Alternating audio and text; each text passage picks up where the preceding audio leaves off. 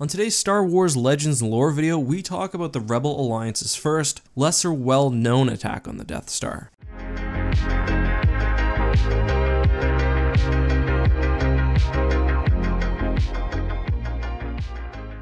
Hey guys, this is Eckhart's Ladder. Hello and welcome to another episode of Star Wars Legends Lore. Today we are talking about one of my favorite books in the old Star Wars expanded universe, Death Star. Death Star chronicles the life of the battle station itself along with the people who lived on it from its construction all the way until its fateful end at the Battle of Yavin. One thing we learn about in the book is an attack launched by the Rebel Alliance on a then unfinished but still mostly operational Death Star. And although this battle hasn't really been mentioned in other media, it would have been a fairly significant significant part of galactic history. It all starts off as squadrons of TIE fighters are performing training exercises outside of the Death Star. As a sense of scale, at this point there's about 10 squadrons of fighters. A squadron typically has 12 fighters, which equals 120 TIEs in total. The training is then interrupted by a message from Governor Tarkin. He calls off all drills and tells the fighter to arm their weapons and form up in a defensive perimeter around the Death Star. He announces that a Lucrehulk class battle cruiser has just dropped out of hyperspace a few thousand kilometers away from the Death Star. There's very little question that this is a rebel attack, and the TIE fighters out in space are now the first line of defense. Tarkin, along with Admiral Motti, who is in command of the Imperial fleet which is supposed to be protecting the battle station, take control of all Imperial forces from one of the Death Star's bridges. They discuss rebel strategy, stating that although a Lucrehulk alone doesn't possess a lot of firepower, it's most likely being used primarily to carry starfighters. The Death Star is guarded by a substantial Imperial fleet. For that reason, the Alliance can't launch a traditional attack with capital ships. They would lose too many of their ships and they may not be able to operate moving forward. The two men realize that the Lucrehulk is likely full of fighters, fighters which will try to slip past Imperial defenses and damage the Death Star directly. Tarkin further realizes that even if they can't manage to destroy it, they could severely put it behind a schedule, which would be a loss in and of itself for the Empire. Confirming their suspicions, the Lucrehulk almost immediately launches 500 X-Wings in two distinct waves. What the Alliance presumably don't know is that the Death Star is operational. Tarkin orders the station to fire, you may fire when ready.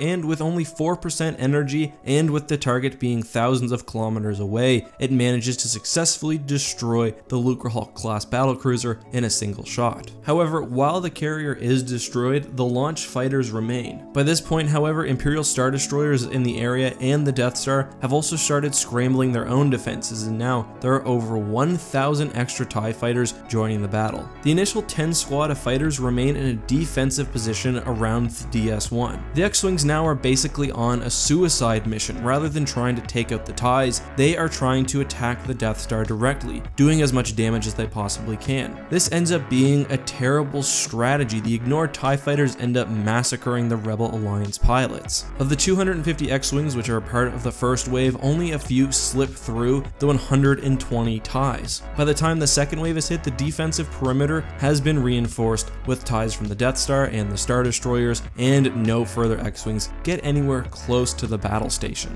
In total, over 500 X-Wings are destroyed by TIE fighters, while the Empire loses less than 100 of its own pilots. This was a devastating loss for the Rebel Alliance. Not only do they lose a ton of pilots and fighters, but they also lose one of their only capital ships. Can you imagine how much use these X-Wings and these pilots would have been at the Battle of Yavin? This really was a terrible decision, both on a grand strategic level and when talking about individual tactics for the fighters. During the battle, Admiral Daala, who would become a relatively important Imperial later in Star Wars Legends, is injured after an X-Wing attacks the bridge of the ship she's commanding. We don't know the type of ship she was commanding or how she was engaging the X-Wings, but she is seriously injured, which results in some memory loss. By this point, Daala had been the paramour lover of Tarkin for some time, but after this he would put her in charge of a small fleet guarding the Maw, where she would appear later in Star Wars Legends. In response to the attack, the Death Star was moved to the other side of the gravity well which it was stationed in. It would have been moved further, but its hyperdrives were not fully functional, and Tarkin figured that if the rebels came and saw that the Death Star was gone, they'd assume that it jumped to another system. And that's it. That's the story of the Alliance's first attack on the Death Star, at least in Star Wars Legends. What do you think of this story? Do you think this kind of military engagement adds to the lore? Are you happy that canon seems to have gone in a different direction? Let me know all of that and more down in the comments. Anyway, thank you so much for watching guys. If you want to get further involved in the community, make sure to join the Discord at discord.gg slash ladder, follow me on Twitter, and of course subscribe to the second channel. Until next time, may the force be with you.